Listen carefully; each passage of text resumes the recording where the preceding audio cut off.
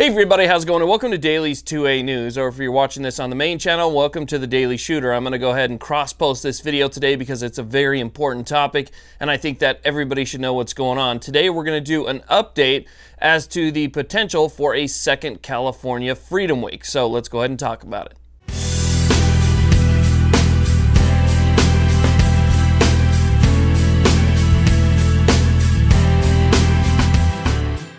Now, if you follow on Instagram, Facebook, or social media in general, you may have seen some very interesting posts regarding California's potential second Freedom Week. These posts have a very important date on them, which is January 29th of 2020, and that's what we're going to be focusing on here today. Now, this date has Californians anxious, it has them excited, and rightly so, because a second Freedom Week in California would be absolutely amazing. Now, here's the thing. If you don't know what the first Freedom Week was, you're not going to know what the second Freedom Week could be, so let me give you a brief explanation of the first.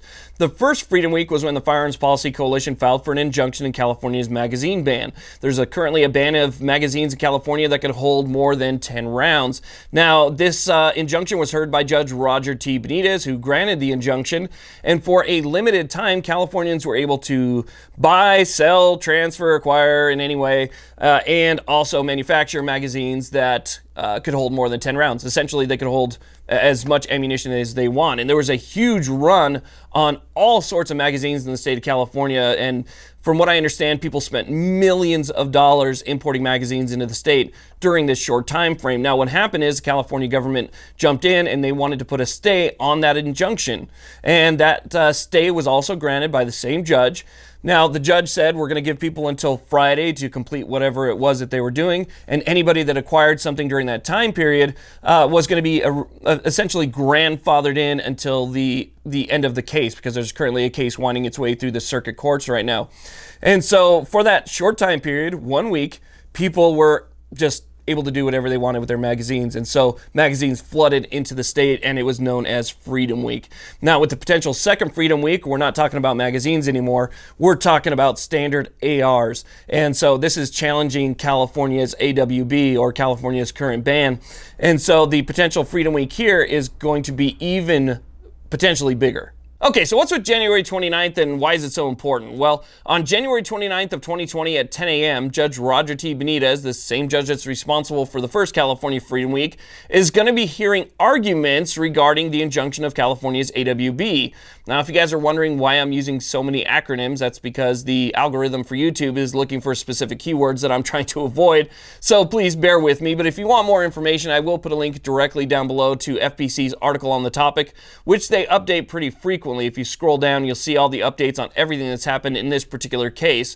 Now, this case is not just about Freedom Week. They're trying to overturn the AWB in California altogether, just like they're trying to completely overturn the magazine ban in California as well. The magazine ban is still winding its way through the Ninth Circuit, so there's more to be heard about that.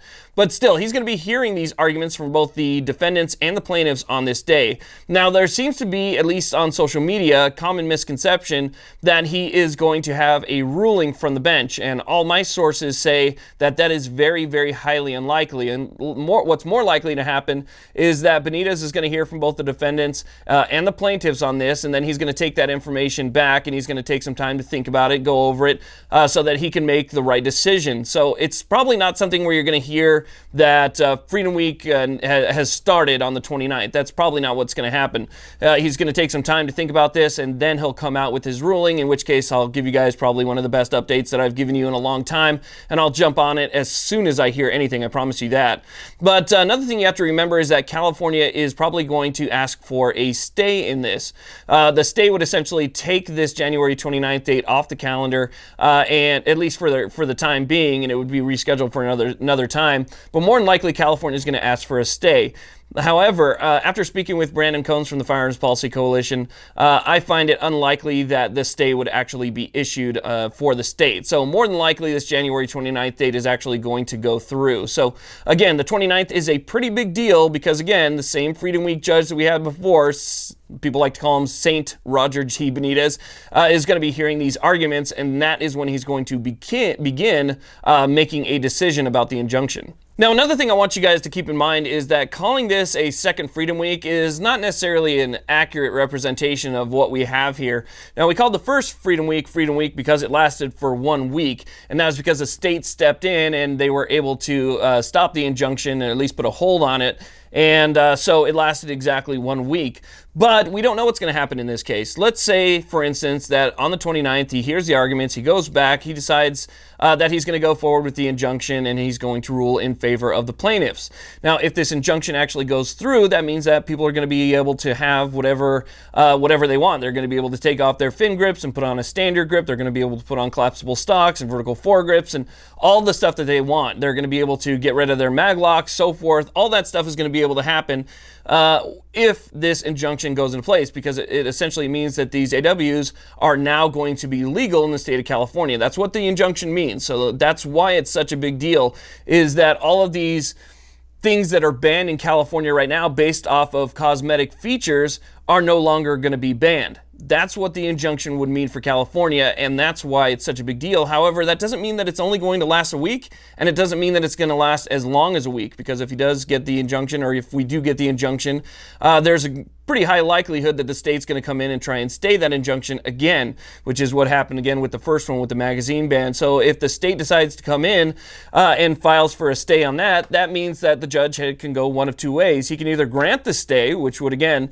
kind of stop everything in its tracks, just like it did the first time, or he can choose not to, in which case it could last until the case is over. That means that uh, AWs would be perfectly legal in California until there was an actual final ruling in this particular case. So the potentiality here is that we don't have a Freedom Week, we could have Freedom Year, or Freedom Months, or Freedom Years. And then if the case uh, falls in our favor, we could have Freedom Forever type thing, right? The implications here are very, very big, and that's because there are so many other states that have very similar laws like this. Okay, so you can see how other states with similar laws are going to be looking at this uh, for precedent, right? Which means that there is a high likelihood that it could wind its way up to the Supreme Court. And the Supreme Court hasn't been doing a great job of taking Second Amendment cases. So if it rules in our favor in the Ninth Circuit, the Supreme Court doesn't take it, then the Ninth Circuit uh, ruling will will stay. And if it rules in our favor, that's a great thing. Uh, if it does not rule in our favor and it goes up to the Supreme Court and they hear it, that means we have another chance to try and fight back. But meanwhile, the injunction should stay in place. So we have a, a large potential here for less than a week or more than a week. We don't know exactly what's going to happen. And so calling it Freedom Week, while it's a great way to understand what's going on because people remember the first Freedom Week, that's not necessarily exactly how this whole thing could play out. Remember, Freedom Week is just kind of a name that we all gave uh, that week that we had the injunction on the magazine ban. So uh, it's very important uh, to, to stay on top of this one and to go to the FPC's website as often as possible so that you can see any updates as they, that they've added to this article, uh, especially in terms of the state potentially staying the injunction uh, prior to the 29th. Okay, there's specific dates where things need to be filed. Uh, the defendants have a specific date where they can, uh, you know, file their argument and stuff. So there's there's a lot still that needs to happen. There's several dates between here and the 29th uh, before the arguments actually take place. But again, the 29th is a very big deal because again, that's when he's going to hear the arguments, and so after that is when we're going to have to start paying attention to whether or not he makes a decision in our favor or not,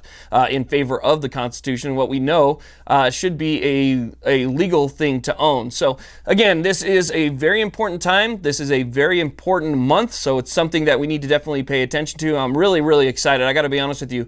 Uh, I am hopeful. I am cautiously optimistic on this one. Again, with uh, Judge Benitez and reading his uh, opinion in, as, as it pertained to the magazine ban, uh, I feel that he is favorable to the Second Amendment, uh, to, to make another decision in favor of the Second Amendment. So if he can interpret the magazine ban in the way that he did, and he looks and applies the same kind of thing here, then obviously we could have a big win on our side in the very near future.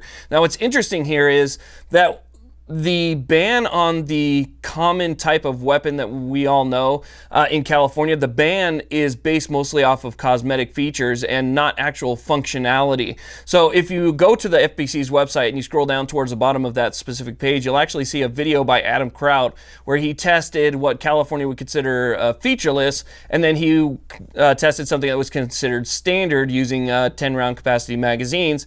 And it showed that there is basically no difference between the two other than you know these cosmetic features and that the main functionality of that uh, still stays the same. So again, these are all things that could be used in the argument for the plaintiffs, showing that, look, these cosmetic features really don't change anything. You're just putting a burden on the public and causing the public to spend more money uh, on something that doesn't absolutely do anything. And it doesn't change uh, or affect the state by having them on or off. So if the state's going to try and say that they are suffering injury by having these things um, uh, not on the right or on the rifle, okay, so like a vertical grip or something like that is uh, somehow going to make it more dangerous. Uh, it is it is proven that it functions still exactly the same, and so I think we have a very good shot here at the injunction, and I'm very very hopeful. So stay tuned to the channel. I'm going to stay on top of this as often as possible, and I'm going to keep checking and get as many updates as I can. Be getting a lot of help from the Firearms Policy Coalition, which I really do appreciate. Uh, so if you can, make sure again you become a member and you donate as often as possible because these people are actually fighting for our rights, unlike some others out there. So I want to say thank you all very much for watching. I really appreciate it. And I want to say special thank you to all of my Patreons who have helped keep this channel running because without you and YouTube's demonetization so forth, it just wouldn't happen. So again, thank you all very much for watching. Please like, subscribe, and have a great day. Oh, also, if depending if you're watching this on the main channel or the B channel, make sure you subscribe to the B channel, Dailies 2A News. Thanks again. Bye.